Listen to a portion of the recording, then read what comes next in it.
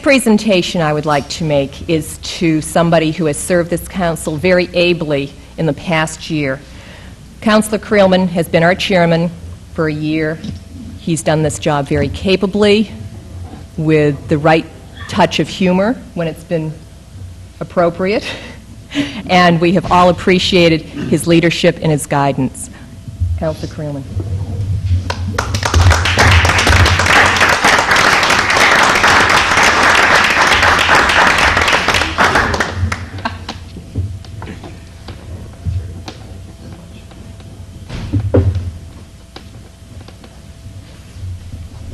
Never, never forego an opportunity to say a few short words. Um, I very much enjoyed uh, serving the town over the last year as chair of the council. The, the town council had a very busy year last year.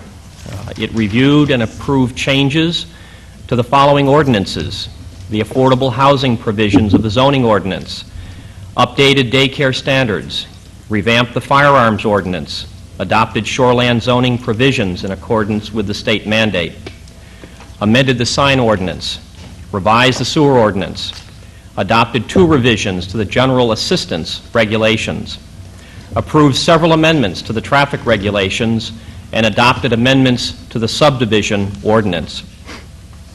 Several policies over the last year were also reviewed, including the town council being uh, in a position of adopting a sexual harassment policy. The Spurwink Church use provisions were updated. New sewer rates were approved. A greenbelt signage protocol was adopted, and leaf burning provisions were considered. The town took strong advocacy positions in a number of areas.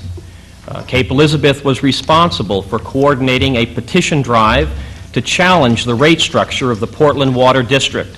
This ongoing effort has already saved uh, Cape Elizabeth ratepayers over $170,000 over our cost, and this uh, largely uh, was responsible uh, by our council chair uh, right now, uh, Councilor McLaughlin, who spearheaded that particular effort.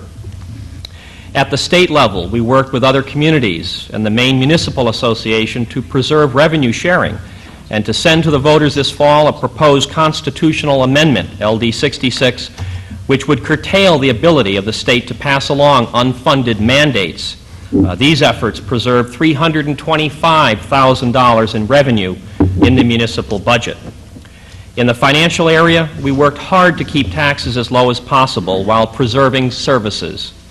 Due to budget cuts at the mid-year and at the beginning of the year, the council operated on one half million dollars less than we did the year before. Last month, we adopted a new budget that adjusted taxes less than the rate of inflation.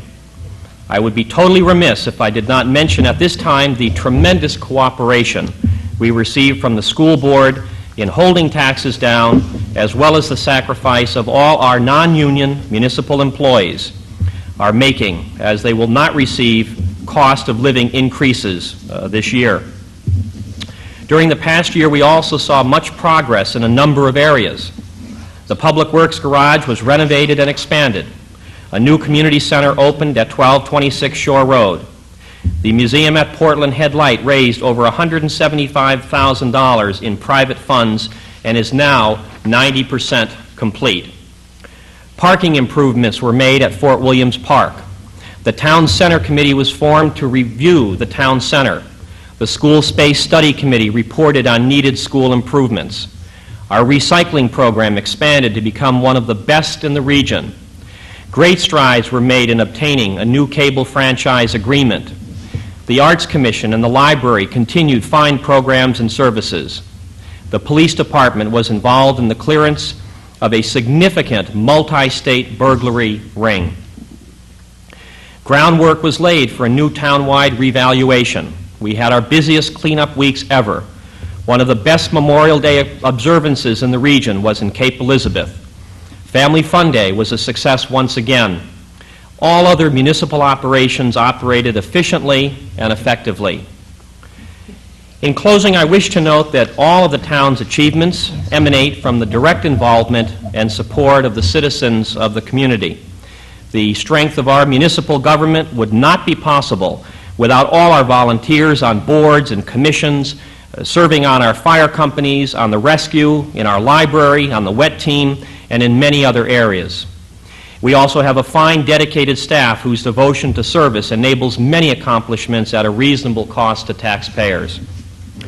Finally, I wish to thank my fellow town councilors for the honor of serving as town council chairman this past year. While we may occasionally have divergent views on specific policy issues, I think it is most notable that we generally reach a consensus on the best overall direction for the community. This common vision will surely continue in the years ahead, and it is what makes serving on the town council so enjoyable. I believe the common vision also helps us to work together to continue to improve the community. Lastly, it continues to be a personal pleasure to work side by side uh, with our town manager. Uh, clearly, uh, the most competent and dedicated manager in the state of Maine. I very much look forward to the next two years on the council, and I thank you all very much.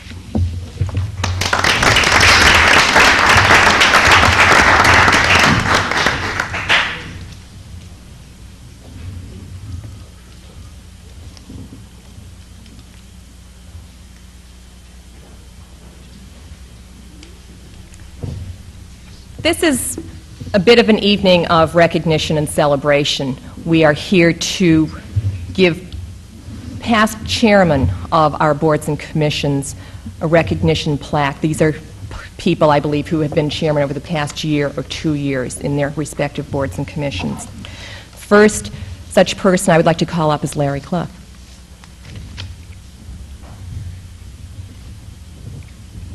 Larry has been on the Zoning Board of Appeals for how many years? Six years. a long, a long time, he says. And that's a board where you really have to be very precise and still use some good judgment and flexibility. And I know you have done that very well, and I congratulate you for being chairman for the past two years. Thank you.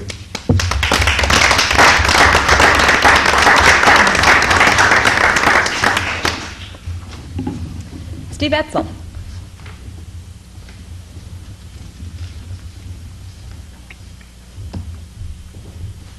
Steve has been on the planning board for six years?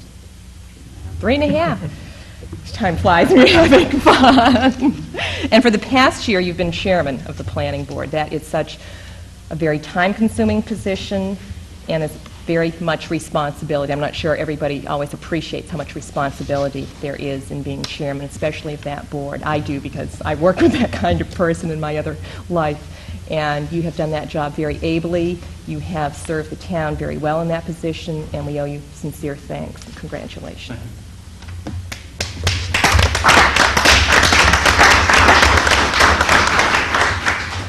Carol Fritz.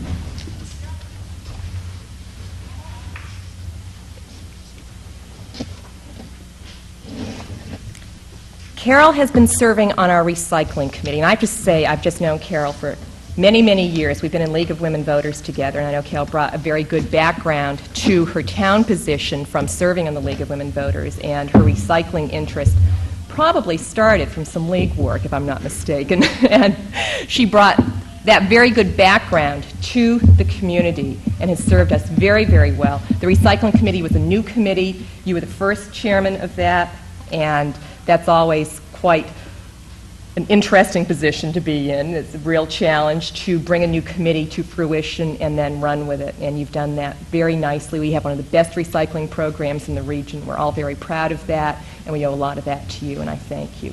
Congratulations.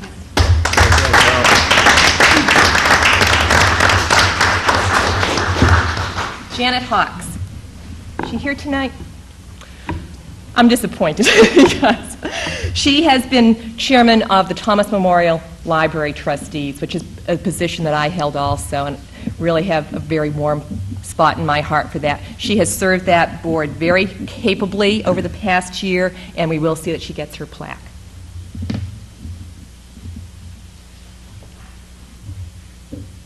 Another person I know is not here this evening is Wayne Brooking. Wayne has been the chairman of the Riverside Memorial Cemetery Trustees for three years? looks like three years he's been chairman, is that right? I'm not going to use all my fingers. That is sometimes a forgotten part of the town. Not always a place you want to end up, of course, but it, it's very well maintained. We've had some discussion, you know, under Wayne's leadership as chairman, they have revised, reviewed and revised some of the rules and regulations for the cemetery that we dealt with about a year ago when we were talking about plastic versus real flower. And some of the necessary administrative work like that and policy work that needs to be done in that chairman position, and we thank him for that. We will also see that he gets his plaque. Okay, a lot of people aren't here tonight. Jane Jordan has been chairman of the Board of Historic Preservation Advisors Committee, and this group has a lot of energy. I think it's a one of those groups where they, can, they were looking for a little more direction, perhaps from the council, is the word I've gotten from them. I attended one of their recent meetings, and some of the ideas that were being discussed were really exciting, and I'm looking forward to many good things from them. I know Jane has set a very good foundation for that organization to carry on its very meaningful work in the town, and she'll get hers later. Dave Scheffler.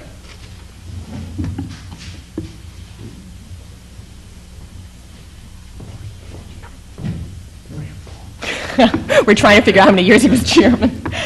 Dave has been on our board of assessment review, and that's a board that's probably happiest when it's not meeting, right? what I know about that kind of board.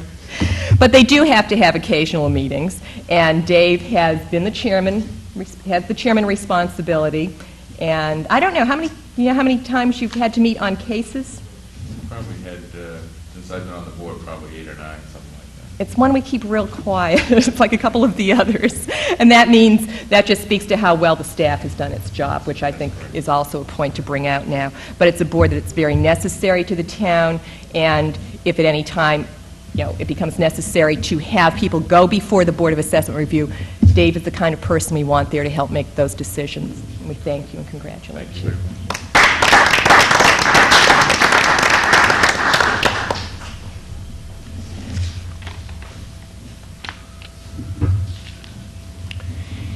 Each year, the Cape Elizabeth Town Council recognizes one of our citizens with the Ralph T. Gould Award. This award, established in 1986, was named for Ralph T. Gould to recognize his community service and to recognize those who provide service to the community in the same spirit as Ralph Gould.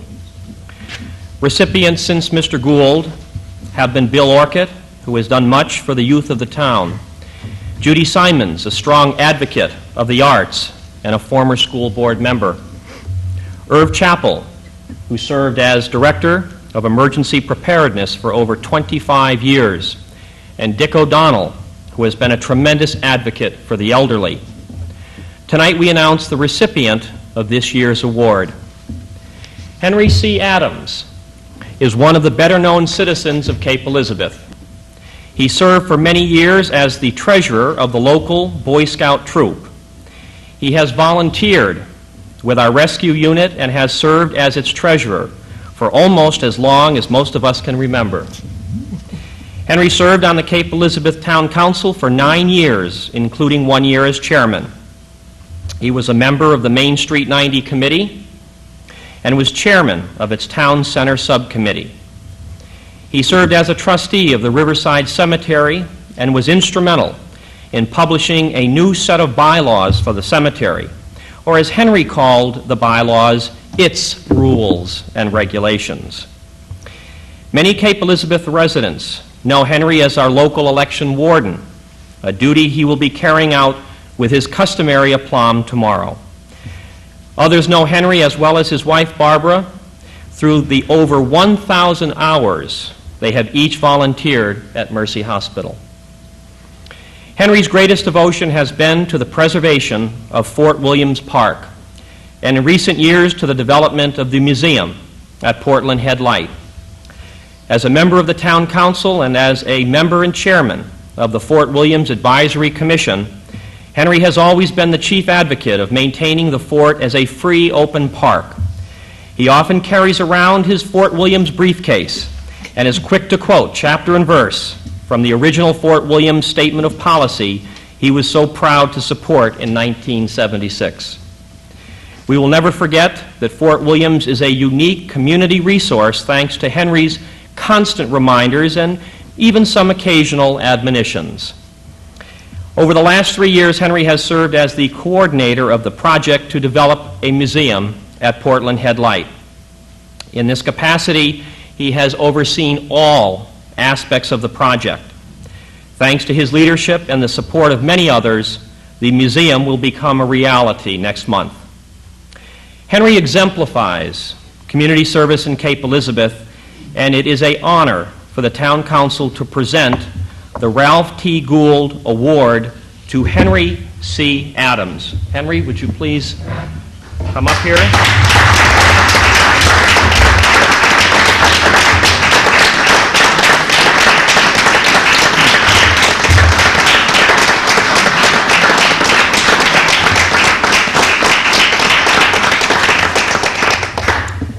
I read the inscription on the plaque with the seal of the town of Cape Elizabeth.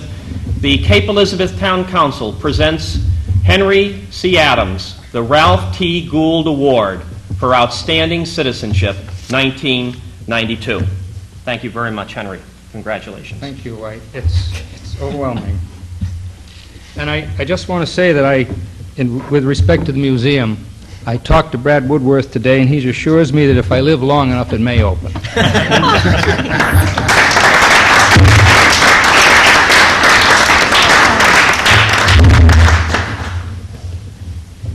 Henry, we assure you, you'll be there. Jeez. The next item we have is citizen discussion of items not on the agenda. Is there anybody who would like to come to the podium for that? Seeing none, we move to reports and correspondence. Do we have any from the counselors? Counselor Chappell, you look like you're ready. Yeah, our RWS meeting had the Finance Committee meeting on May the 20th. Things are going well. We've held them down, as you know, on the further construction in Gorham, and it looks like the budget is going to be substantially less than it was the year before. We'll have the final approval on, I hope, by June 18th. The RWS board meeting was on May 21st, and at that one, we started to discuss the possibilities of biomedical waste uh, treatment at our facility there on Bayberry Road in Portland. And if that works out, it's going to add about $164,000 that we didn't have before uh, to use. The uh, next meeting is June the 18th, when we'll consider both this Bayberry, both this biomedical and the finance. I love them over there. The finance committees are at 7:30 in the morning, and uh, it, it's just wonderful to start talk, thinking about money that early. July the 23rd is the annual meeting, and Michael and I and uh, Lester Jordan and Dick Dahlbeck will be there for that one. We'll let you know, okay? Thank you. Anybody else? I have my customary list. You'd be disappointed. I would like to publicly thank Jim Murray and all the participants in the Memorial Day Parade. As has been previously mentioned this evening, we had one of the best turnouts in the greater Portland, if not the whole state of Maine, and it was an effort much appreciated and respected. Thanks, Jim. Family Fun Day is this Saturday. God has decided it will not rain like it did last Saturday. If it does, the rain date, I believe, is Sunday. We sure hope it will be Saturday and that there will be fireworks this year. Another important community event this week is graduation, which will be Friday afternoon at Fort Williams. So, and I know we have a counselor with a grandson graduating Friday. Yep. Right? That's good. That's super. It's real special. In I would like to report to the council about the COG Executive Committee meeting on May 20th. We had a report, and we had an introduction of the new transportation planner, Joe Cott, who gave us reports on a couple of proposals that COG is doing. One is jointly being proposed with PACTS for a regional transportation demand management study, which is looking at better management of the existing infrastructure facilities instead of expanding those facilities. It's looking how we can use ride share and flexible work hours and bicycle commuting and measures like that so that we don't have to put more money into the roadways. Certainly made a lot of sense. The other effort there, have a proposal in for a seven-county regional ride share effort, going along more or less with the first one.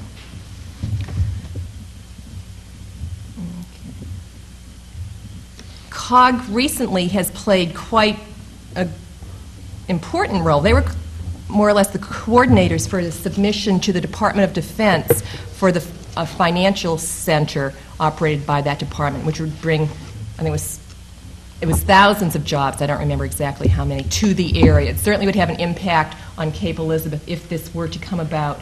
They have submitted their proposal and are waiting to hear if they make the second round, and I'll be sure to let you know. But John Bouvier played a nice facilitator role in getting that all together. I know he was real excited about it. The annual meeting, I hope you all received the notice, was changed from this Thursday to Tuesday, June 23rd. And I know we do have a couple of people um, to represent this council at the General Assembly, which is where you do some of the business of COG. One of the items on the agenda that evening will be uh, from the taking action on a proposal from the nominating committee. They are proposing for president of COG for the coming year Tom Allen, who's recently stepped down as being mayor of Portland. They have nominated for first vice president myself. I certainly appreciate your support. I'm looking forward to serving in that capacity and especially to working with Tom Allen. Janet, while you're saying words of thanks, I just got to put one word in if I may. Certainly. The uh, Cape Elizabeth, uh, I guess you call them the drama, whatever they are, but they did a wonderful job on this My My Fair Lady.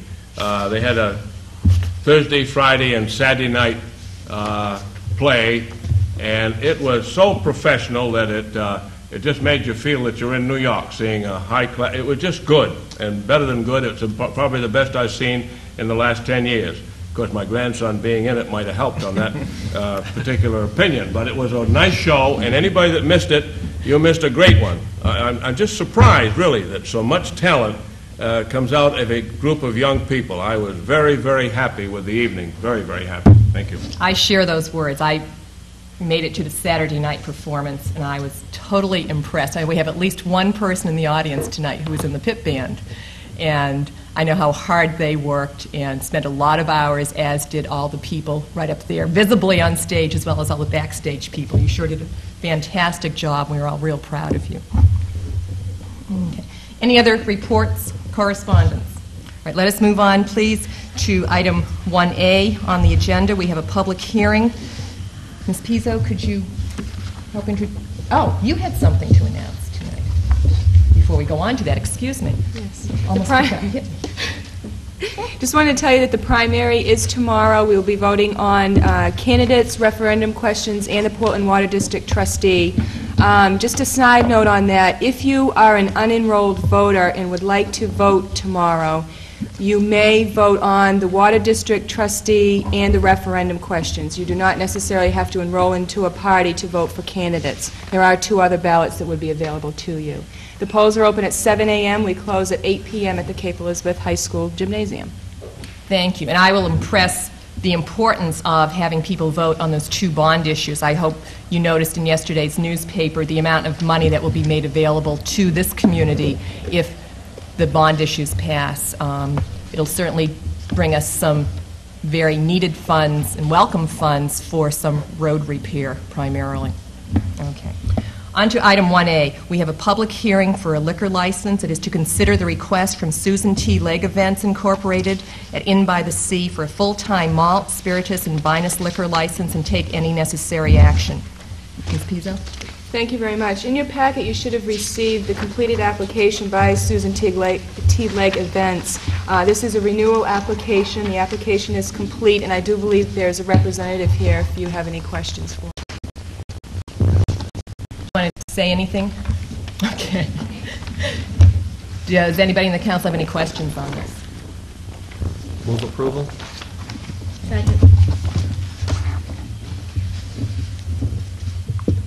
Was there anybody in the public who would like to comment on this?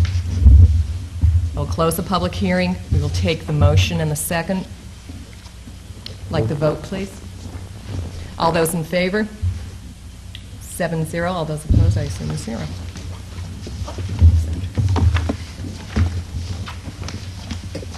Item number two is to consider the adoption of the rules of the Cape Elizabeth Town Council and take any necessary action. Before you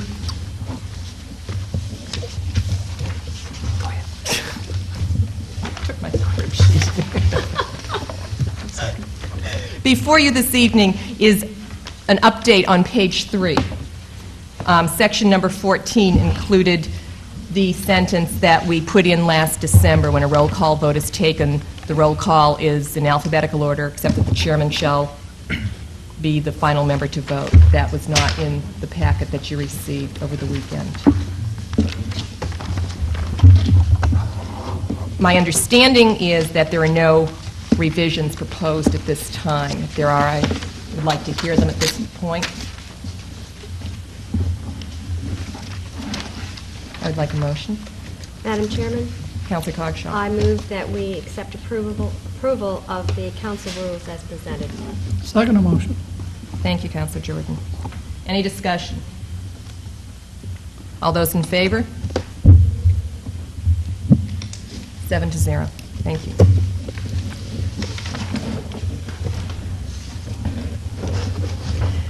Item number three, to consider the appointment of a finance committee and take any necessary action. Madam Chairman, Counselor Jordan.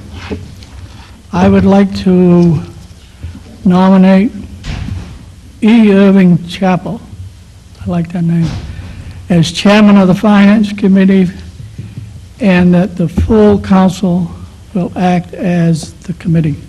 But Mr. Chappell will be the chairman for the next year. Second. Thank you. Any discussion? All those in favor? Seven zero. Item number four, to consider the appointment of an ordinance committee and take any any necessary action.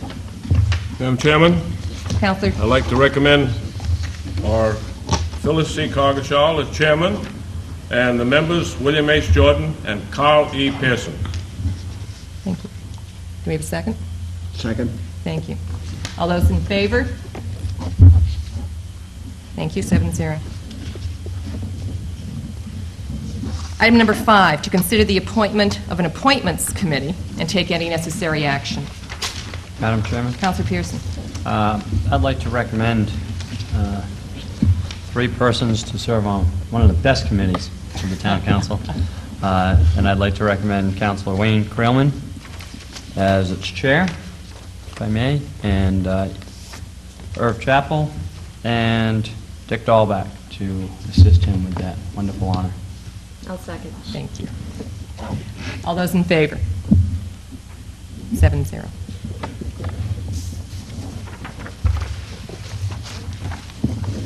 Item number six, to consider the election of representatives to serve on the Greater Portland Council of Governments Executive Committee and General Assembly and take any necessary action. Madam Chairman, Counselor Dahlbeck. I would like to uh, nominate for the Executive Committee Janet L. McLaughlin, Thank you. and to serve on the General Assembly, uh, Wayne L. McCreelman and Irving Chappell, with Michael McGovern as alternate. Second motion. Thank you. All those in favor? Seven zero. Item number seven, to consider the appointment of a council representative to serve on the Board of Directors of Regional Waste Systems and take any necessary action.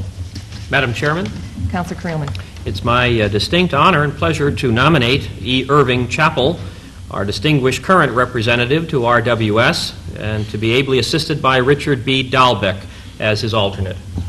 I'll second. Thank you. All those in favor? Seven zero. Item number eight, to consider an appointment to the PACTS Policy Committee and take any necessary action. Madam Chairman, Counselor. I would like to nominate uh, Michael K. McGovern, our town manager, to continue as our representative on the PACTS Policy Committee. Second that. Thank you. All those in favor? Can you tell the people what PACTS stands for? That's a quiz. This is a The- The quiz. Portland Area uh, Comprehensive Transportation Committee. It used to be study, and they, they changed to S, study to committee, but did not change the acronym. Oh, very good. I always forget one of those letters. Thank you. Item number nine. Did we, we voted, that was seven zero. Item number nine, to consider an appointment to the Maine Municipal Association Legislative Policy Committee. This would be for the 1992 to 1994 term, and take any necessary action. Madam Chairman, Counselor Jordan. I would like to nominate Richard B. Dahlbeck as a representative, and Michael, I better put the K in the rest of it, K. McGovern as an alternate. I'll second. Thank you. Um, This person, if the vote goes as we expect, Mr. Dahlbeck will take his position in that in October. That- Even she seems to appreciate. All those in favor? Seven zero, thank you. Item number 10, to consider setting a public hearing on a proposed franchise agreement with Public Cable Company and take any necessary action. Mr. McGovern? Yes, thank you, Madam Chairman. On behalf of the Cable TV Advisory uh, Committee's Franchise Subcommittee, I'm pleased to present to you a proposed franchise agreement. Uh, I think a a large debt of thanks is due to the members of this subcommittee uh, who worked very hard on this uh, particular franchise agreement. Uh, The members were Bill Hosman, Howard Krantman, Alistair McVicker, and our new cable TV coordinator, Harry Proudman. Uh, Jack Bates, the committee chairman, also attended one of the meetings. Uh, I think we met three or four times in total, but there was an awful lot of work done between meetings as well. And, uh, you know, there was, a- there had been some discussion about, you know, how we ought to go about this process, and uh, I think the Appointments Committee first suggested that we ought to fully involve the, the uh, Cable TV Advisory Commission and use them as the, the chief negotiators, and I think the agreement that you have before you this evening uh, reflects well on the direction that the council gave. Uh, The particular agreement and the sessions were uh, negotiated uh, through Jeff Darrell, who's uh, the Vice President of Public Cable, and he's here this evening uh, to answer any uh, specific questions that you might have. Uh, The highlights of the agreement are as follows. Uh, It would be a non-exclusive franchise, meaning other companies and entities could come in as well and provide similar-type services. Uh, It is for 15 years. The present agreement provides that renewals be for 15 years. However, uh, one of the concessions in this agreement was that future renewals would be for 10 years. Obviously, this is a business that's changing rapidly, and we probably would not have favored 10 years were it not for the non-exclusive uh, provision. Uh, The channel capacity would be 60 uh, channels that would be installed over the next uh, 15 months, although not all 60 channels would be necessarily activated immediately, but the capacity would be there uh, within 15 months from the the date of the agreement. Uh, There was concern that Cape Elizabeth was a little bit out in front on the agreement, and perhaps uh, the cable company might negotiate more favorable terms to other communities, and we have a clause in here that uh, Jeff Darrell refers to as the most favored nations clause, and basically what that provides, that if they do an upgrade in another community, uh, that we would have the same upgrade within 18 months, so Cape Elizabeth would not fall behind in, in, with cable TV in the region. Uh, Public access is something that the committee took a, I think, a very uh, long-range view of. Uh, Right now, as you all know, we we don't use our public access channel to the full extent that- that we might.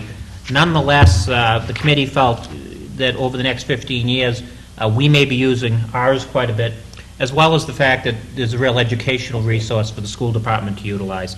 Uh, The cable company has agreed in this proposed agreement that a second access channel would be provided for the primary use of the high school, and that uh, they would place a modulator at the high school, uh, which is the, along with the reverse path, which is the instrument that's needed to send a signal back for live uh, cable casting.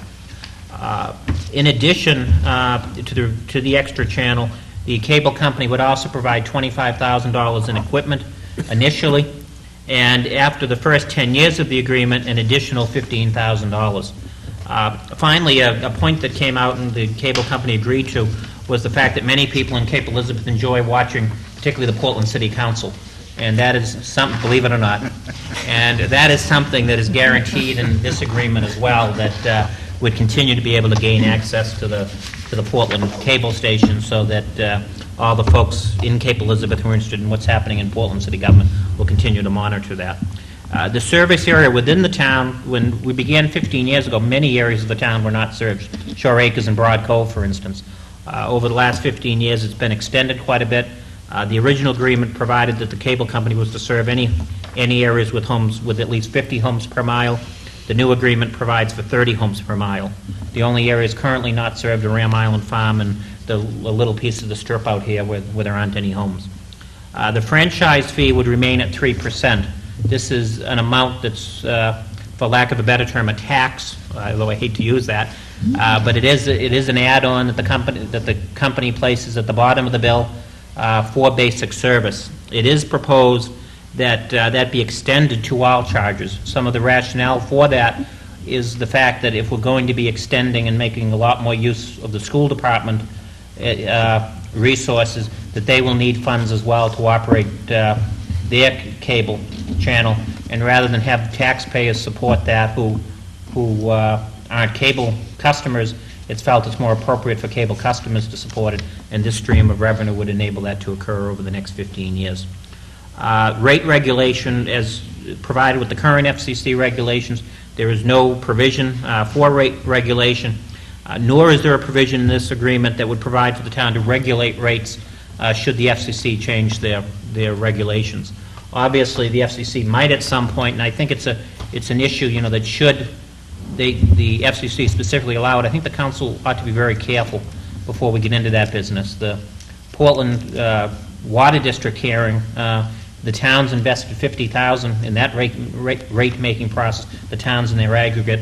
The cities uh, invested 50000 and my understanding is the Water District invested 140000 So that was a $240,000 rate-making process that is yet to be over. So I would, I would think that particularly with all the competition that will be coming in, in, in this field, that uh, we, we, we ought to look hesitantly at, at getting into a, a rate-making uh, mode.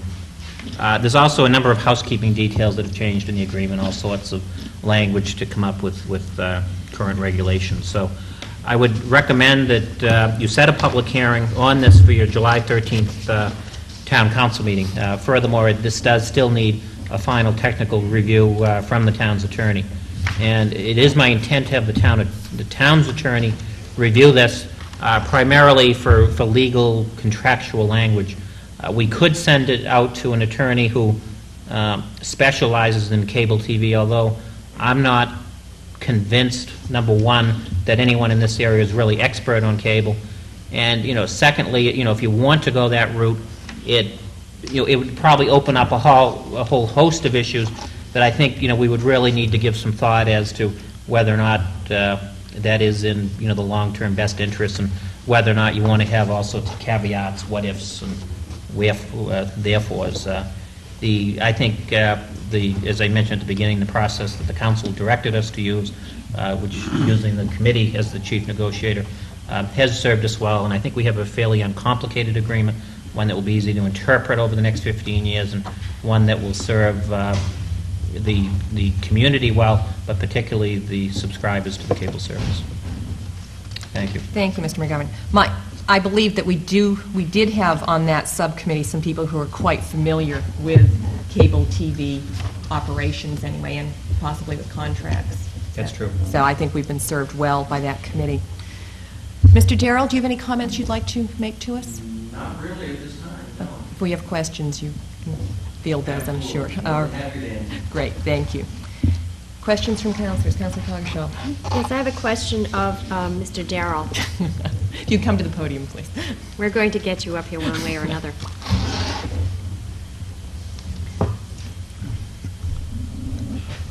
What studies, if any, has the public cable um, company done to determine what number, percentage of your viewers watch which programs, and what percentage of the programs that are being offered are, are really being watched? I guess it all comes down to, do we really need 60 channels? Well, the- the- to to answer the second question first, I think the whole nature of television is going to be changing over the next uh, two to five years uh, to multiple, multiple channels. Uh, The technology is going to uh, enable us to deliver uh, up to 200 channels. And uh, interactivity, uh, special video, audio services, that kind of thing. It's, it's really like the personal computer industry. It's going to be out ahead of the software that's going to be delivered. So uh, it's, it's something we have to prepare for. Uh, The telephone company, Mike, Mike uh, alluded to uh, the competition that we're going to be facing over the next few years. We anticipate the telephone company uh, might possibly be getting into the business. Uh, We currently have competition from uh, direct broadcast satellite companies who are delivering uh, that approximately 60 channels of, of uh, video services right now. So uh, there is a need for us to remain competitive to have that kind of channel capacity. To get back to your first question, uh, it's something that we research on a regular basis. Uh, the most recent research that we conducted was in uh, the spring of last year, and we test both the viewership and the perceived value of different services. We have a number of services which appeal to a very small segment of uh, our subscribing uh, base, but uh, they're valued very highly. A C-SPAN, for example, which shows the uh, House of Representatives and the Senate live, and then various hearings uh, on issues down in Washington. That's something that gets a very low viewership uh, rating, but a very high value rating. So uh, we, we do that as frequently as, as we possibly can. We also gather information on a regular basis, uh, unsolicited comments, uh, telephone calls are recorded, and all of that is tabulated so that when we go to make decisions on what we're going to launch, uh, we've got, we've got a lot of different information to draw on. Does that, does that begin to get It's a at good it? general answer, yes. We Okay. we do have a copy of that survey. um, Yes, I- That the cable company did. It was reviewed by the Mhm. cable committee, and be happy to share it with the council. I, I think the one other thing that I, I mentioned to the committee, they heard it enough, it's, it's very difficult to account for taste in television. And, and I, th- I think I'll leave it, I'll leave it at that. Anything else, Counsel? No, that's fine. Counselor Dahlbeck? Yes, adding, uh, going up to 60 channels, et cetera, uh, adds costs, I'm sure.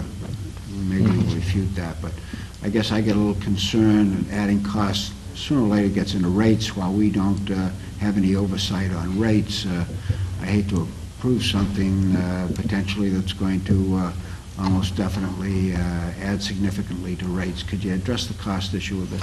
Well, I, I think the cost is going to be addressed because what, what I tried to allude to earlier was that there will be different kinds of services. There will be audio services that will be sold similar to uh, how we sell our premium services like HBO, Cinemax, uh, pay-per-view.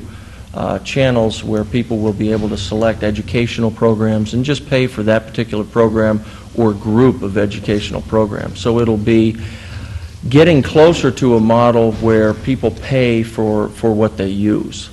Uh, I, I think what we tried to do with what we call our basic service over the last couple of years is to provide a group of services, the off-air channels, uh, WSBK out of Boston, uh, and the local access channels, and to separate those from the others so that we could maintain control, a better control of the cost of a certain uh, tier of service, as we call it in the industry. So I think this tiering process, or separating things and making people pay separately, is how we're going to address that. But as we get into data services, uh, it, it's not something that we anticipate putting onto the uh, standard cable bill, if you will. If they want data, they will pay for data. Thank you. Counselor Creelman?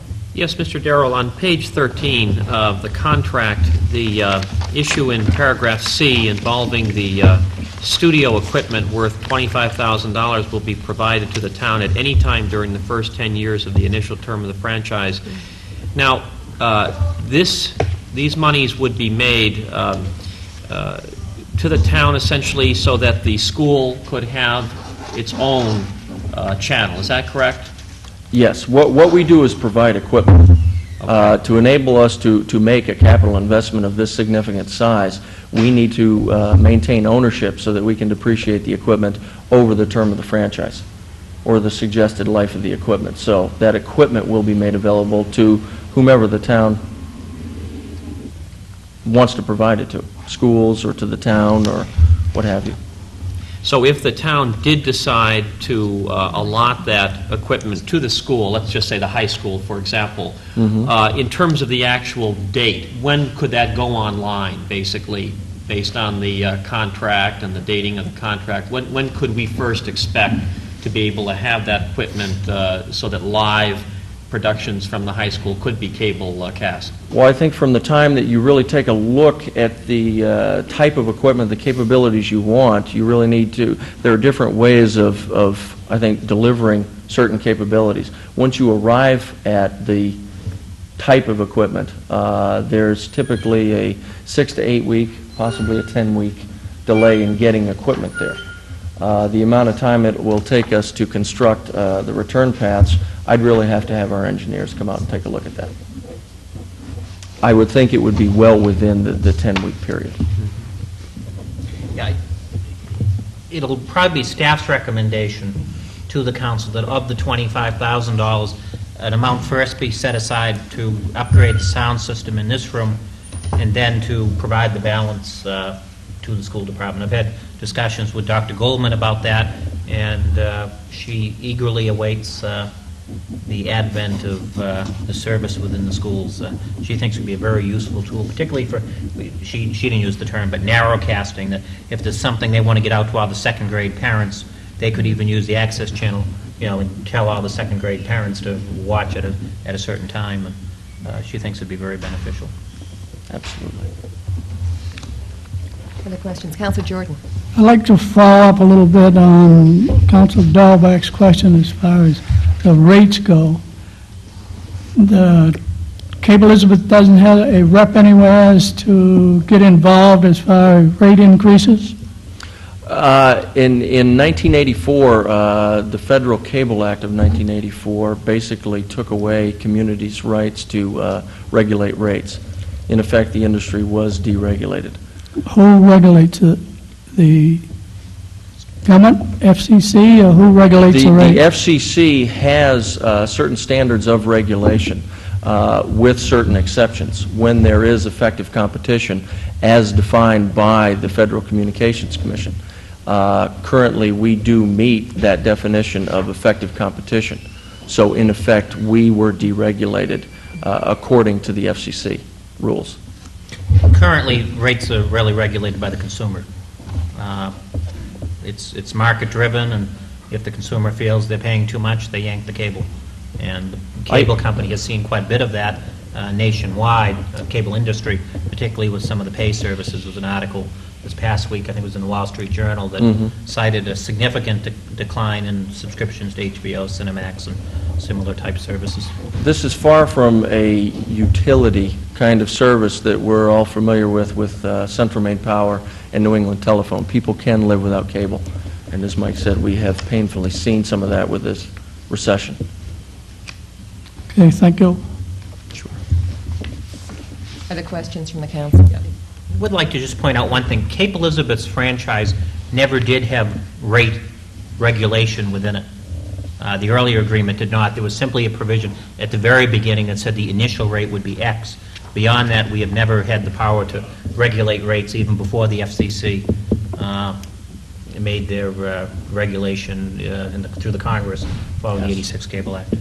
You certainly have the ability as a council to uh, invite us before the council and to explain our rates, which we're always willing to do. Well, I just wanted to point it out because I think there's some people out there that don't quite understand how the rates uh, are regulated and how they increase or decrease and so on and so forth. Mhm. That's one reason I brought it up.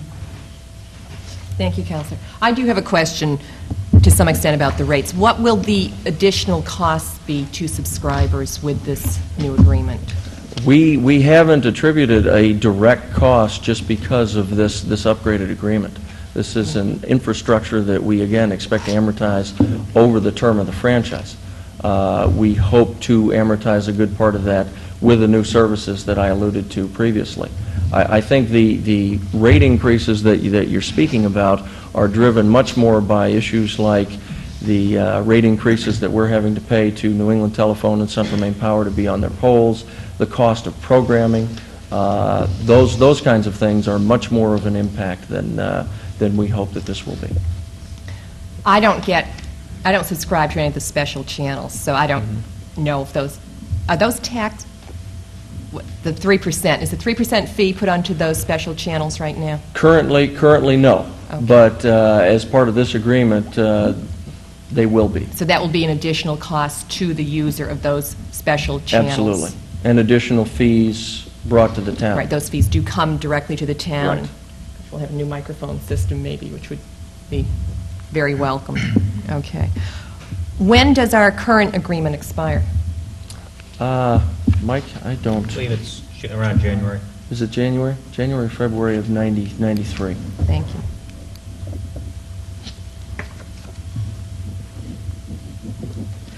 Any other questions or comments from the council? Counselor, Counselor. Yes. I have a question of Mr. McGovern. On- Again, on page 13, about the um, company being able to utilize time on these access channels that's not being being used by, by us. Um, Do we have that similar clause now? We don't need to have any specific times of when it absolutely No, cannot be used? no, this- They can't preempt us? No, this language uh, was reviewed carefully, and it was to ensure that, that they could not unilaterally uh, take away capacity uh, or time. Uh, This is, only requires that the town cooperate. It, uh, uh, it- The burden is, is really on the town to say yes. So they would check with you before they use the channel for broadcasting? Absolutely. If we were not using it at Thursday night at 10 o'clock for about six weeks, and all of a sudden we want to, it should still be there? That's right. Okay. This is very much a relationship kind of an issue. It's, it's something to enable us, uh, the, the company, if we're getting feedback from subscribers about lack of use of a channel, that we would initiate discussions with the town.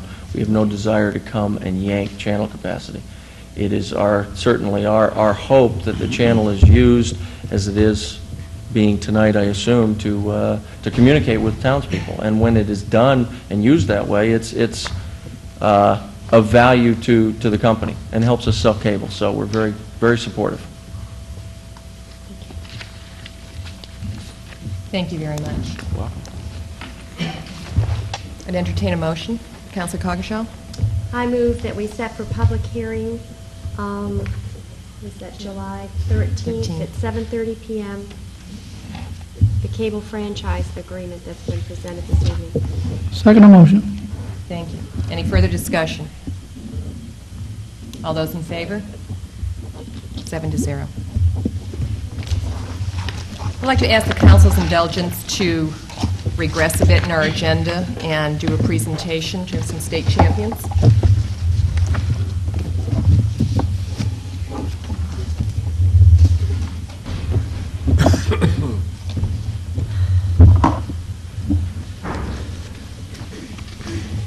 I know this is getting old hat for you gentlemen this evening, but I appreciate your showing up.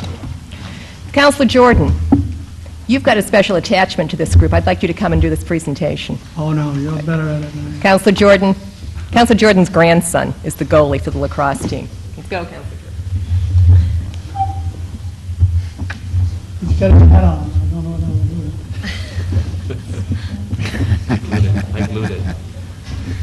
I have to change that, yeah. It's usually my job. It'll cover the evaluation. Oh, geez. Got my. There you go, William.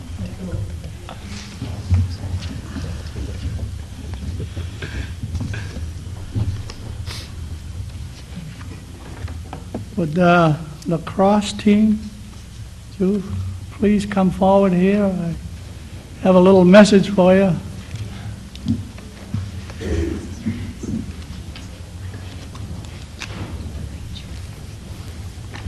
Why don't you swing right around so the people at home can get a nice picture? Where's your goalie? Huh? He wasn't at our uh, award ceremony. Gee, we'll have to talk to him, huh? I understand he done a quite a job in different games, what have you. Sets two school records this year. and he set two school records as far as lacrosse goes, and I, uh, pretty proud of him. But- But I probably should be, and what have you, if not, my wife give me hell, she's my grandson. But I'm here to recognize you gentlemen, young boys, and here's a proclamation that from the Cape Elizabeth Town Council, whereas the Cape Elizabeth High School Boys Lacrosse Team has recently won its third straight Maine Class B championship. And whereas a victory completed an unbeaten record in the Maine In- Interscholastic Lacrosse League.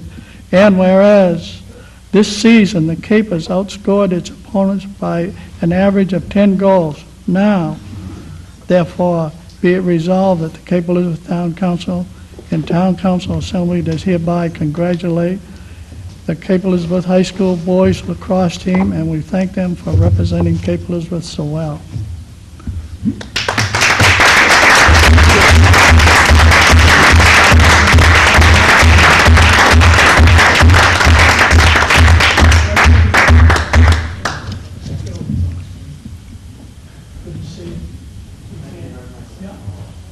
job. Thank you. Thank you very much. Thanks for coming this Thank you. evening. Thank you.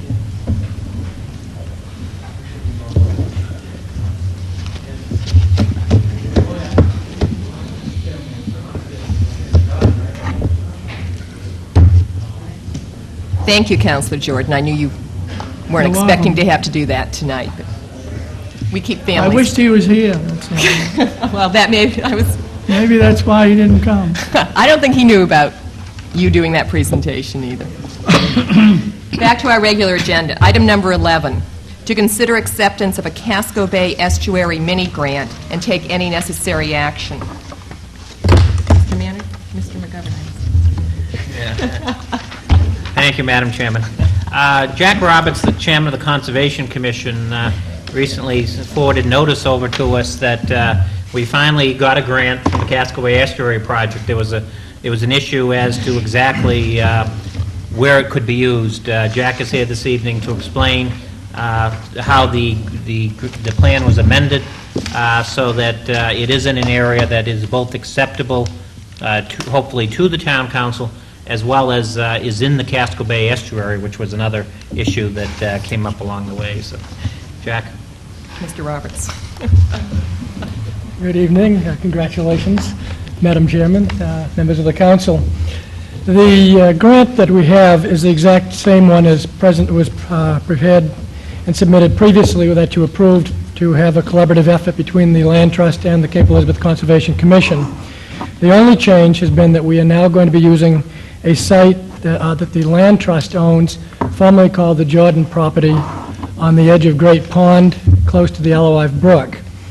The uh, Maureen was good enough, the town planner, to provide a map here showing that the, the, uh, the boundaries of the uh, Casco Bay estuary. The original request went for, uh, that was put out, listed Scarborough, Cape Elizabeth, a number of other uh, communities that were eligible to apply for these funds. They failed to mention that a lot of those communities, only portions of the town qualified. Um, They liked the grant uh, sufficiently well enough that they went out and basically redefined the Casco Bay estuary to include us. Um, We felt, obviously, that uh, it should go down as far as two lights, and I think originally it went up to about Fort Williams. So they have re-looked at that and expanded it so that the Jordan property that the Land Trust owns can be included in this. Again, the proposal will be one for an educational component primarily. We will try to get as much help as possible to get the uh, property marked with uh, suitable uh, signage to uh, delineate the value of the wetlands, uh, yet not something that will be a high-traffic or high-visibility area, so that it should not have a great deal of impact on neighborhoods. We are sensitive to that. It does fit in very well with the town's Greenbelt policy and the comprehensive plan. So, We have been approved. Um, We are in the process of working on it. All that we need now basically is the rubber stamp from the council that they are willing to accept uh, the new location. Thank you, Mr. Roberts. Any questions of Mr. Roberts? I just want to share with the council how stunned our town planner, Maureen O'Meara, and I were when we were in attendance at a Cumberland County Planners meeting. The presenters at that meeting were Lee Doggett and another person from the Casco Bay Estuary Project. And I walked in and Maureen said, Janet, where we have the grant isn't part of the estuary. We were beside ourselves that morning and had a very good discussion during the planners' meeting and told them a few things of what we thought about not providing proper maps to the towns and all. They did express to us how um, fondly, I guess, they thought of our sub- initial submission. We're hoping we could find a way to revise it to get the approval within the right boundaries of the watershed. And Maureen and Jack have worked to do that, and we've had some good response from the Land Trust also. And I think a lot of good work has gone into this once again. Councilor Coggeshall? I think we owe a great deal of gratitude to Councilor Pearson, who was appointed as a town representative to the Casco Casco Bay Estuary Study and sat through many, many meetings. And he's the one who brought it to our attention that this um, grant was possible, the application. So I thank you for all those hours, Councilor. Councilor Pearson? Yes, uh, Madam Chairman. Uh, I I have to qualify that, though, and I- I've got to put that right to Jack Roberts and Maureen O'Meara for their diligent efforts uh, to get it in by the deadline, which uh, I almost let pass by, and I apologize, but I thank Jack for his effort. Uh, It it was uh, a lot of meetings in the estuary, uh, took a while to get going, but I think in the next few years, it's going to be an important part of of our comprehensive plan and the greater Portland community as a whole. Thank you. Thank you. Any further questions or comments? And entertain a motion. Councilor Pearson? Madam Chairman, I uh, would like to uh, make a motion that we accept on behalf of the uh, Conservation Commission, uh, the Land Trust, and the Cape Elizabeth Town Council, the uh, grant as provided by the Casco Bay Estuary uh, Mini Grant Program. Second. Further discussion? All those in favor? Seven zero. Thank you, Councilor. Thank you very much, Mr. Roberts. Thank you.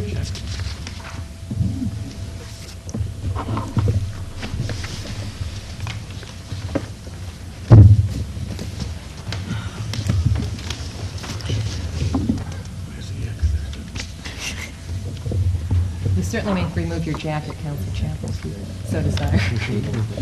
Item number 12, to consider the acceptance of Maine Local Road Assistance Program funds and take any necessary action. Mr. McGovern? Yes, uh, this is a certification that the Maine Department of Transportation asked you to sign, uh, that about almost $64,000 in funds we received them, from them will be used for road purposes. Uh, This, this week itself, uh, later on in the week, we're going to be doing a, a cold planing and repaving of a section of Oakhurst Road that these funds go toward. We're, we're also paving a section of Shore Road up at this end of town. Uh, As you can see from the certification, it also provides that we may receive an additional $33,231. Uh, That is pending uh, tomorrow's uh, bond issue, uh, the tr- the the transportation portion of it. That would be our share of that. It would be the staff's recommendation that if we receive that, that that go into improvements on Shore Road, extending from Surf Road to the old Fort Williams main gate, an area where the the road is uh, undermined and uh, caving in. Uh, A specific recommendation will come back to you before any of those funds are utilized. Uh, Also, take this opportunity to mention that I was a little surprised to pick up Sunday's newspaper and to see uh, that the Maine Department of Transportation was uh, uh, planning on investing $50,000 on Shore Road and a- an additional amount on State Aid Road Number Two, whatever that was, uh, for uh, for some culvert repair. Uh, I spoke with MDOT in Scarborough today, and they indicated that it's essentially those complaints that the letter that went from Chairman Creelman, former Chairman Creelman, uh, uh, had sent to MDOT. The 50,000 on Shore Road would be used to replace the culvert at Pond Cove, to do some general shoring up in the area, as well as to either repair or replace the head wall uh, an issue that was a tremendous concern should we have to take over that particular section of roadway. The culvert replacement funds were for uh, what he referred to as a gully, and I'm not sure which one, there's several, over on Spurwink Avenue, uh, between Wells Road and the top of the hill uh, by the, by the Rich and Jordan properties. Uh, It would replace a culvert through that vicinity. So uh, apparently that letter that uh, Chairman, then former Chairman, uh, you have to get used to that, uh, sent uh, did have an effect. So, but again, that's pending tomorrow's approval of the bond issue. Very good, thank you. Questions or comments from counselors? I would be so delighted to see them fix that culvert on Shore Road so we don't get cut off the next time there's a hurricane. Be a lot safer feeling down there. Needs some work. I'd like a motion. Madam Chairman, I would move that we uh, authorize acceptance of the grants. Thank you. Second. Thank you, councilors. All those in favor? Seven zero.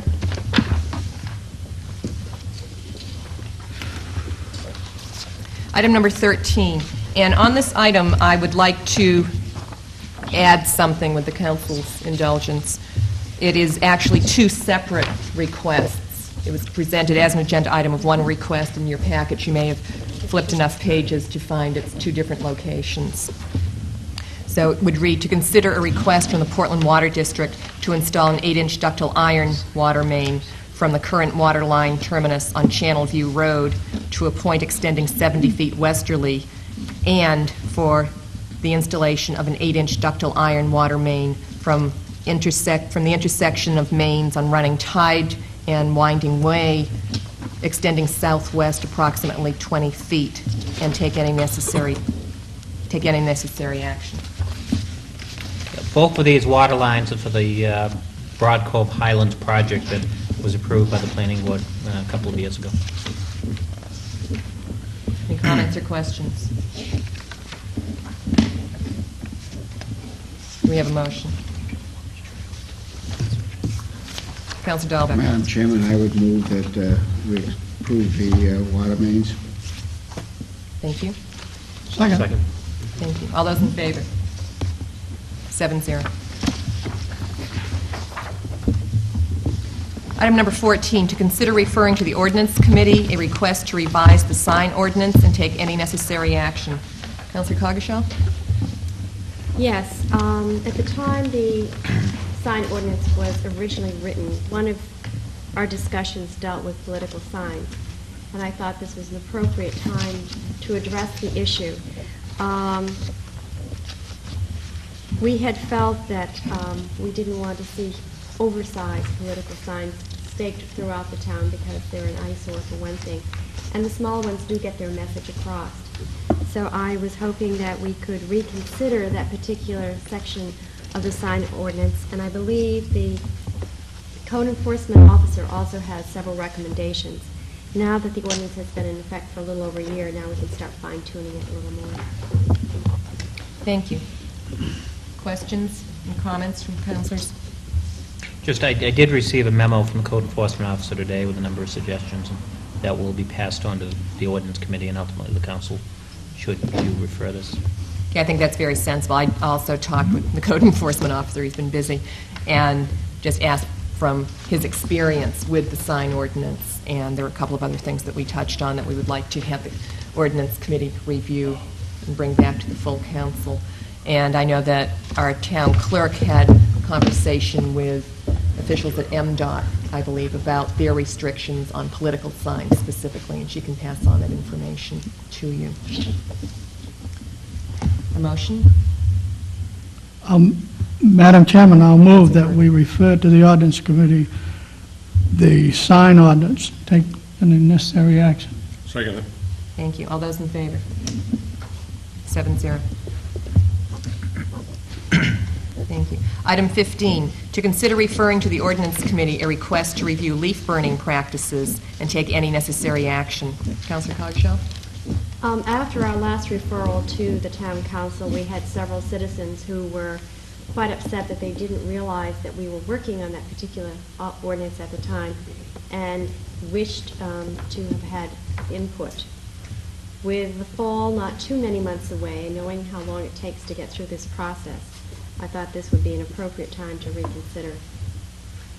I believe this is something we need to take off the table. I believe this was, was this table, do you have a record of that? Mm-hmm. No. No, It's a- it wasn't it's a new tabled. council year, It's a new so- council year, so we don't do that, okay. I know we, I don't think we tabled It it. was a four, three against, the way it was proposed. okay. I know we have discussed this. Remember.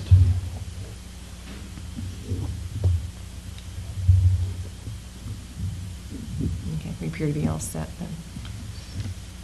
Want a motion to Yes, please. refer it to the ordinance committee? Yes. So move. So moved. Second. Any discussion? Just comments I've received ask that we separate the leaf burning from the brush burning. And I, you know, just say that to you as chairman of the ordinance We've committee. heard if you that, would too. Consider that. I mean, that was one of the instances that people would like to see us deal with. Um, Counselors feeling that the 200 feet being proposed was too restrictive. And we did hear about revising the fall pickup schedule, but did hear then from our Public Works Director of the ramifications of trying to do that. Okay. All those in favor of the motion? Seven zero, thank you. Item 16, to consider referring to the Appointments Committee responsibility for developing a charge for a committee to consider altern- alternative service delivery opportunities and take any necessary action. Mr. McGovern? Yes, at the, the Finance Committee, uh, during one of its deliberative sessions uh, a month or two ago, uh, asked me to come up with a a draft uh, charge for a committee that would look at privatization primarily. Uh, Also, in the- the the proposed charge of this committee, which would consist of seven citizens appointed by the town council utilizing its com- its appointments committee process, all pro- also suggested that the committee might want to look at fee-for-service potential. This was an issue that Councilor Pearson had raised uh, during the Finance Committee meetings, as well as equipment leasing, and also one of the town council's goals for this past year that wasn't looked at too, uh, too, too much, which was innovate, innovative uses of municipal properties. And that all of the purposes of the committee would be for the overall intent of trying to stabilize or reduce the property tax burden uh, in Cape Elizabeth.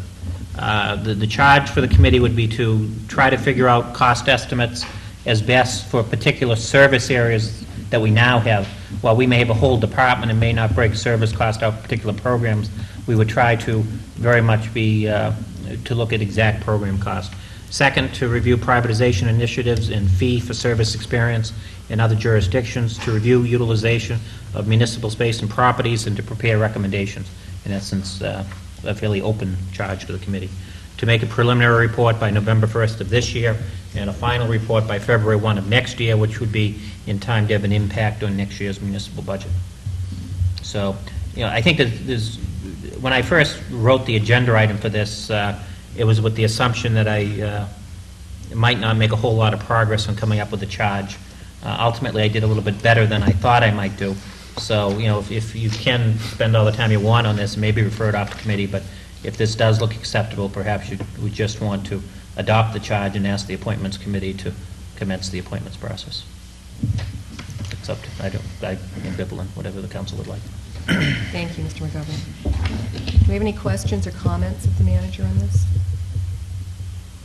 Counselor Creelman? Well, certainly, as I remember the discussion, um, uh, Mr. McGovern has certainly covered the areas that I can recall surfaced in terms of our concerns with regard to the, uh, the uh, budget process as to what we might uh, do over the next year with regard to saving uh, tax dollars. Um, I would uh, wonder, however, if when we do uh, determine the seven members for the committee, if we might have a little bit of leeway within the committee charge itself to perhaps modify that uh, in addition to actually appointing the seven members to the committee. Expand the charge, basically. Expand the charge. I was Right. trying, if you're expanding the numbers No, the no, charge? not, not the numbers. I think seven is a fine number for this committee. And you would, uh, the- the appointments committee would take on that I would want to give the, the, the, uh, I would give the Service Delivery Option Study Committee this charge, but also allow them to expand the charge if they so felt there were other areas that might be helpful to us. Okay. Seems reasonable, Counselor Coggeshall? Do we feel that it would be beneficial to have a counselor on this committee? just in in drafting the charge, I was silent on that issue, and Yes, Uh, I noticed. it it it does not preclude that possibility. Could we hear comments from counselors on that possibility? Counselor Jordan? No, I refer, I prefer to have uh, seven members outside any counselor. That would be my opinion, or any staff or anybody. They'd all be private citizens. And I think there's some out there very knowledgeable that we could get on a committee to come in and take a hard look at some of this privatization as I have spoke about in the past. Thank you. Anybody else? I agree with Counselor Jordan. You'd not believe that, probably. But I think we'd be well-served by having this be a committee of citizens who do not, are not serving as counselors. Mm-hmm. Other comments or questions? I have a question of the manager. Who would be the staff person for this? I would be the primary staff person, but I I think obviously uh, it'll be a process that other staff members will be brought into uh, throughout uh, as the committee has needs for information. Thank you.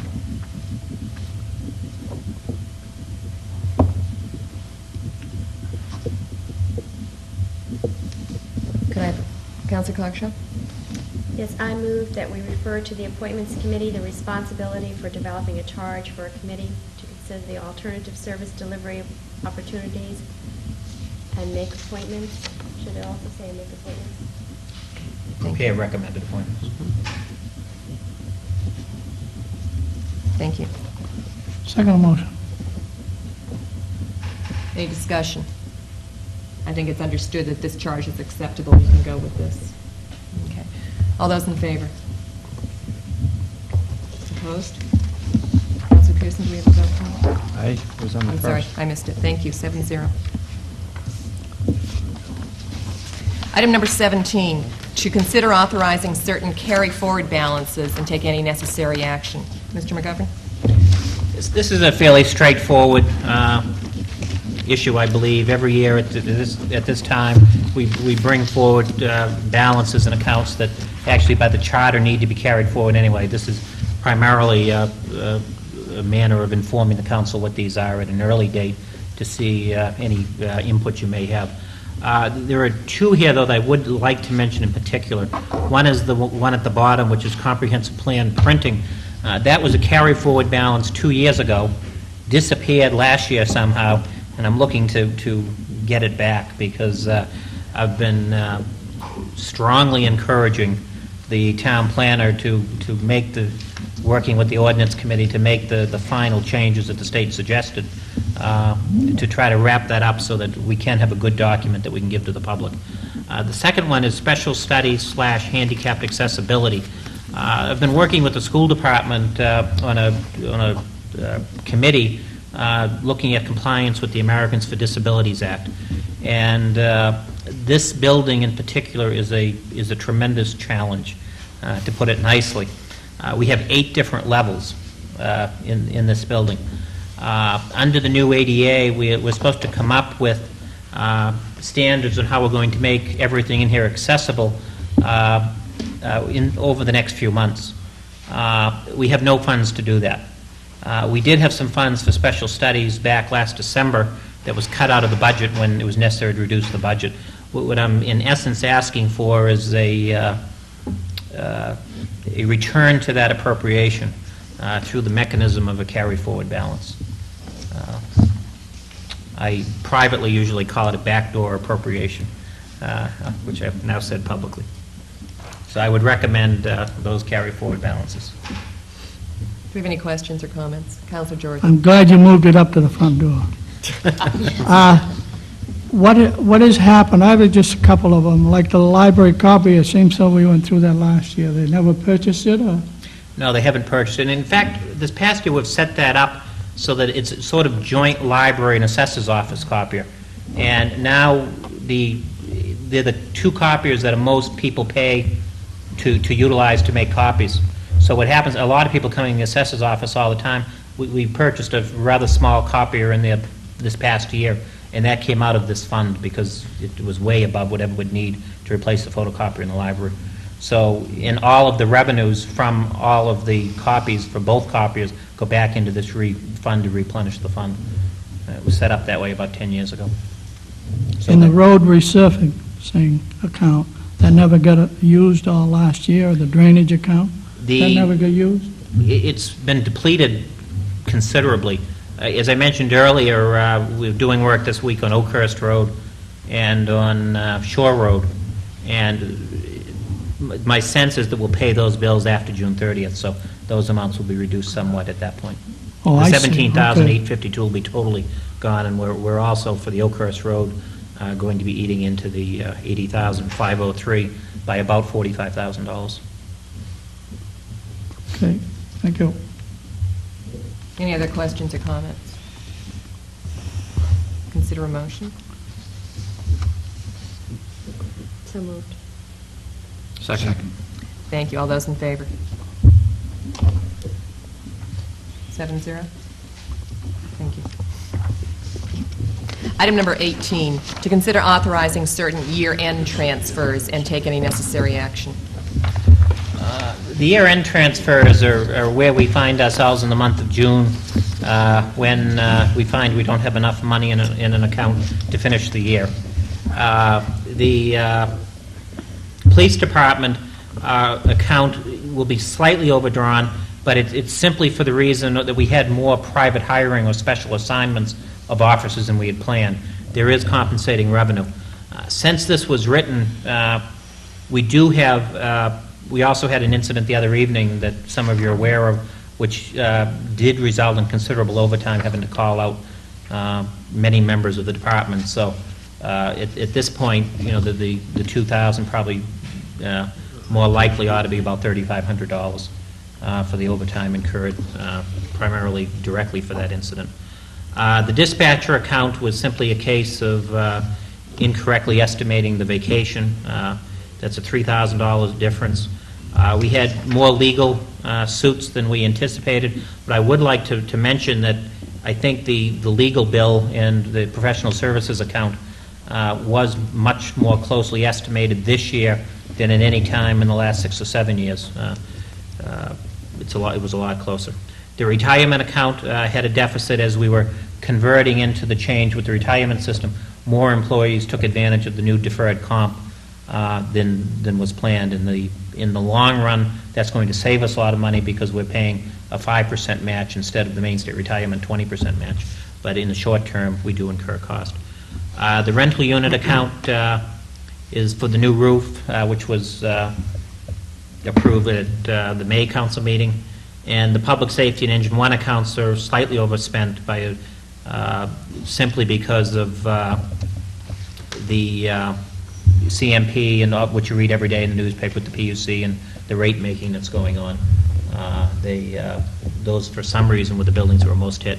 The good news is, in the debt service account, we have more than enough funds uh, to uh, replace, to transfer uh, from that account into all, into all other accounts. The other good news I would- would like to mention is the overall revenues in the budget uh, through June 30 were made effective this week. So we've now collected 100% of the anticipated revenues, uh, excluding the property tax. So that, that was uh, tremendous news, and uh, particularly as we had a few slow months uh, back earlier in the year. So overall, the budget's in pretty good shape. It's nice to meet those revenues. Any questions or comments from councilors? Councilor Jordan? No, I was just going to make a motion that we uh, move to authorize this, the year-end transfers.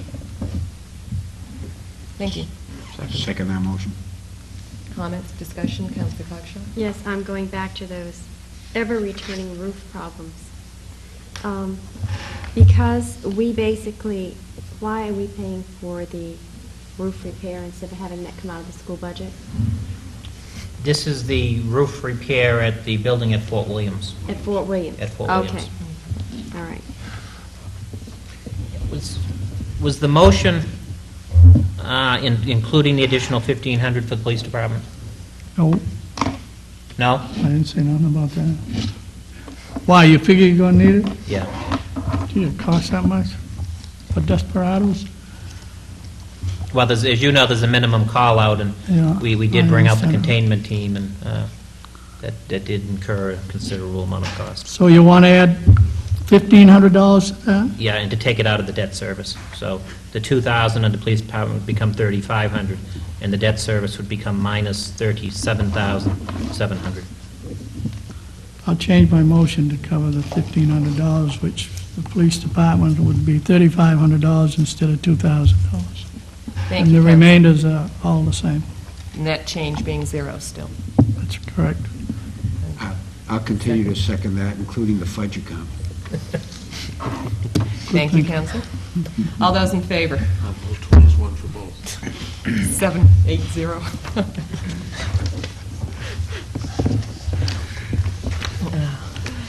Item 19, to consider adopting a revised ICMA Retirement Corporation Money Purchase Plan and Trust Agreement and take any necessary action. Action. Mr. McGovern. Yeah, I think the key line on this is in the third paragraph of the cover letter, which is adoption of the amended plan will keep your plan in compliance with the changes required by the Tax Reform Act of 86 and by the Technical and Miscellaneous Revenue Act of 1988, and with all current federal laws and regulations of the IRS. It's uh, simply uh, federal government requirements, and I would urge the approval of uh, the plan. So moved. Second. All those in favor? Seven, zero. Item 19A, to consider granting conditional municipal approval of land and right-of-way donations for the Stonegate Phase 4 subdivision and take any necessary action. Mr. McGovern? Yes, thank you, Madam Chairman. Uh, The Stonegate 4 uh, subdivision is currently before the planning board. Uh, There are a number of uh, roads that are within the subdivision, as well as uh, conservation land that are proposed to be deeded to the town. It's traditional that prior to the town, uh, the town's planning board granting final approval to any subdivision, that the council conditionally accept uh, those portions of the public, which are, those portions of the project which are proposed to be dedicated to the public. Uh, Rick Light is here uh, of Land Use Consultants, who's the consultant uh, for the developer, and uh, although you you do have a map in your packet, uh, uh, he can briefly show you on the plan that's uh, before you here on the floor, uh, the exact areas uh, that would be the new roads, as well as the uh, the uh, conservation areas.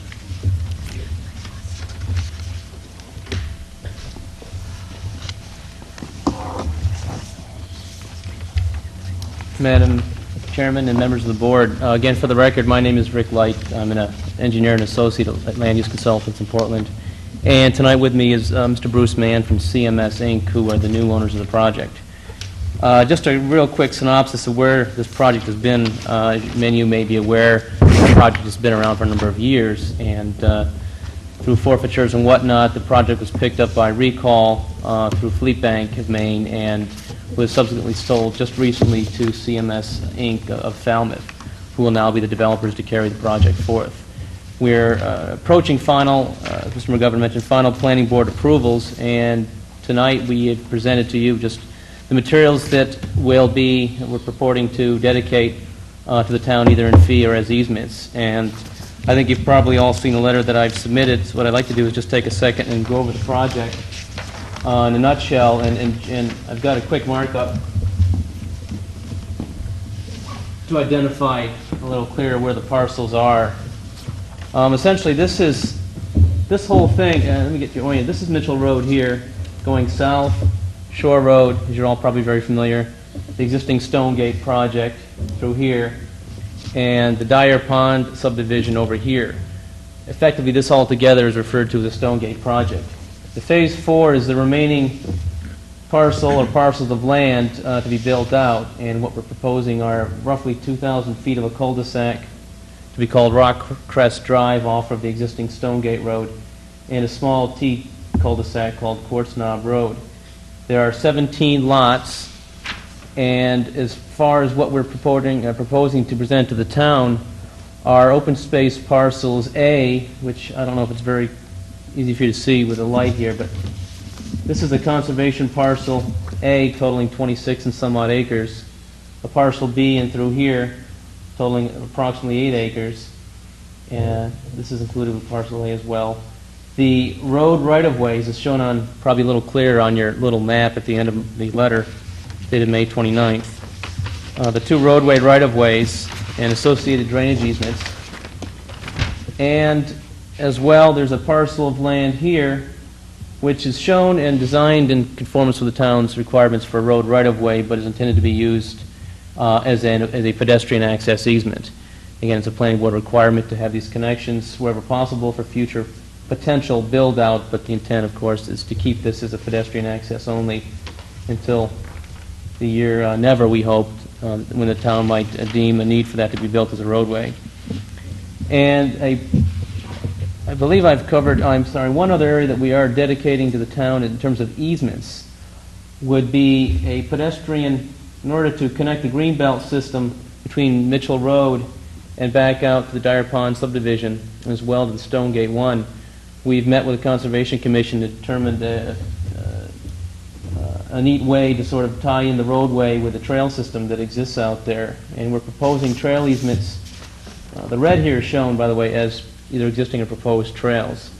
We propose pedestrian access here and a connection through this open space parcel here, which will require an access across, this is called Lot 3, a, uh, I believe, a 15-foot wide trail easement, and another trail easement along the backside of what is going to be called Lot 2 uh, in order to connect over to Allen Road, and another trail easement along the boundary of Lot 1 and 2, which are described probably a little clearer in the plan in front of you. Uh, One area that wasn't clearly stated in the letter, I I apologize for that, it's it's due to a sort of a a ghost of a piece of parcel that no one is quite sure who, how, what, or where it belonged to. But as you see this area here that I haven't described as of yet, what this is, is is basically sort of like a gore of land or parcel of land that somehow during the process, the planning process over the last two, three, four, five years, to the previous developers and owners, this land was never dedicated to anybody. The intent all along was to take that parcel, which is probably 80% wetland and contiguous with all the other wetlands and valuable wildlife habitat throughout the rest of the Stonegate 1 through 4. Uh, The intent all along, I think, was to establish an easement over this parcel for conservation purposes and dedicated to the town. Although not clearly described in the letter, I think somehow it was overlooked. We intend as well to provide this to the town in fee as a separate parcel of land uh, through the final planning board process.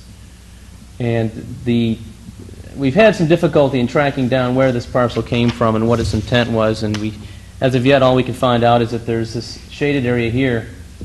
There's actually been an easement recorded in the registry uh, dedicated to the town, but no formal document or deed to transact it to the town. So our step is to get this all together in one big piece, produce an amended plan, and uh, submit that with a deed to the town for acceptance as a conservation parcel. So it would, yeah, it would be, the recommendation of the staff, I've had quite a bit of discussion with the town planner on this, is that uh, you accept, you conditionally accept, uh, subject to final uh, planning board approval and subject to, to ultimate construction, uh, all of the uh, improvements, easements, roads cited in the May 29th letter, uh, as well as the uh, trapezoidal-shaped piece, or rhomboid, whatever it is, uh, just shown on that plan. uh,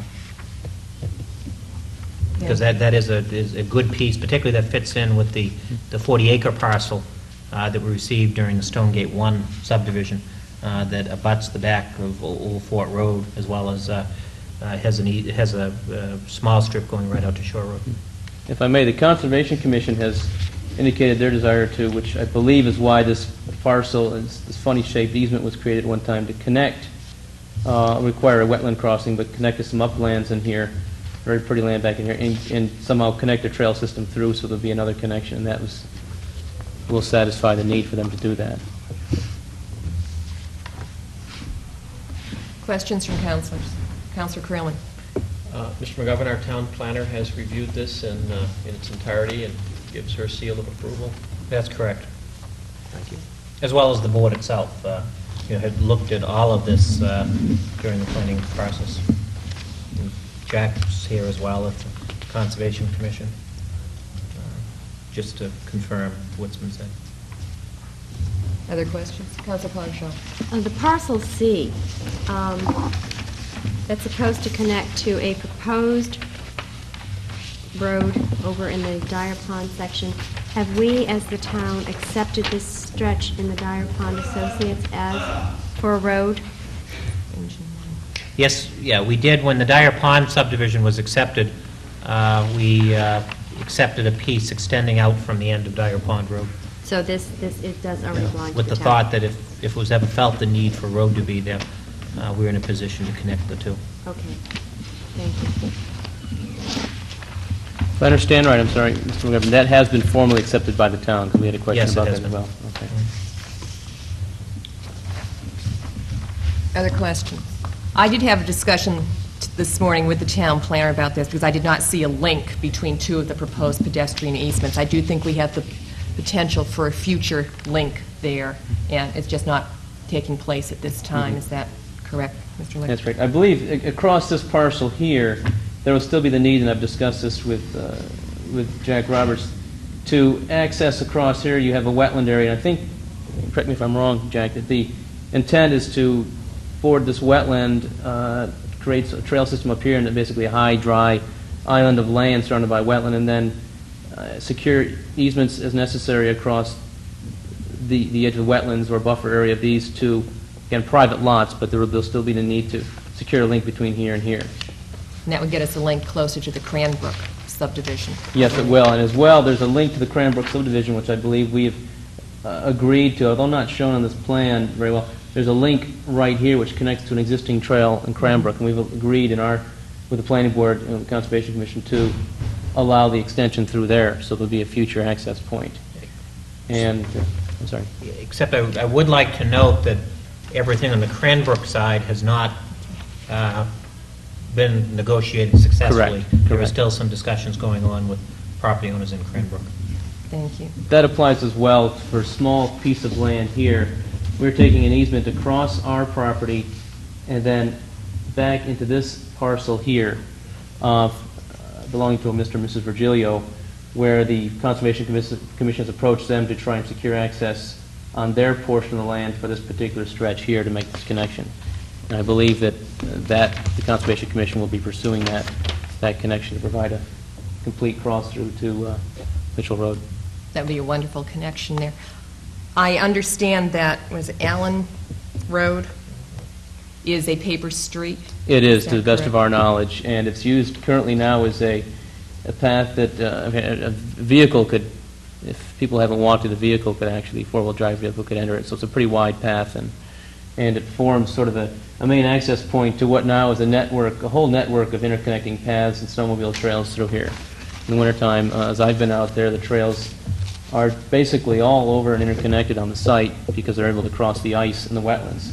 Whereas in the wet weather, of course, you're restricted to the uplands. But there's a, a real interesting and, you know, a fun set of trails out there now. Right, so what is being shown is the link out to Mitchell Road is on a paper street, and that is something that the Conservation Commission will be looking into retaining some, a way to retain public access across that, probably through a pedestrian easement or something like that. Is that right? Mm-hmm. Would you like to address that? Because that's not part of this project. That's why I want people to understand that link. There's a state law on the books that in 1998, I believe it is, all existing paper streets will revert to the abutting property owners. Prior to that, the Conservation Commission hopes to identify which particular streets may have greenbelt value and place pedestrian easements on those before they revert to the abutters, so that we would have uh, that access in perpetuity. And Allen Road would be one of them. That would be a prime one. Thank you. My understanding is that when we're, if we approve, conditionally approve these easement locations, we're approving the metes and bounds of the easements, but not the particular trail locations within the easements. Correct. Is that right? Correct. And the metes and, the easements will be uh, upon final approval and acceptance by the town, the easements have been proposed to be monumented with iron pins at the corners on the particular lots. Then the open space parcels, it's to be left up to the developer and the conservation uh, parties to just work out it in an agreeable location of a trail, avoiding the wetlands if at all possible. Thank you very much. Do we have any other questions, Mr. The manager previously presented some language that this would be subject to final planning board approval and construction, and the parcel presented this evening would be deeded, and that we could make reference to the May 29th letter. Is that about all you said? The town clerk, I think, wrote down most of it. Okay. Could we have a motion to that effect?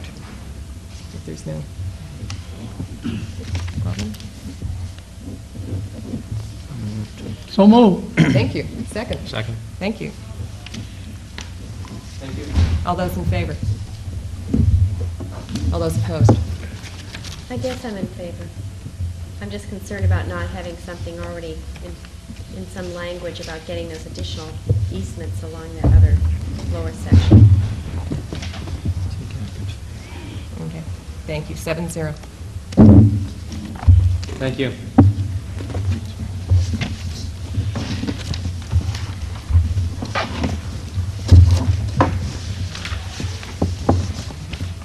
We have one final item that will involve us going into executive session this evening. We will now take citizens' discussion of items not on the agenda. Seeing nobody wants to take, avail themselves of that opportunity. Item 20 is to consider entering into executive session to review an application for a hardship abatement and to take any necessary action. So moved. Second. We will go into executive session. Need to vote. Thank you. All those in favor? Seven zero.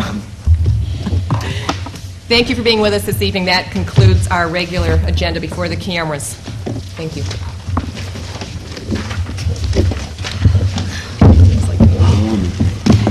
Where do you want to go? Someplace cool.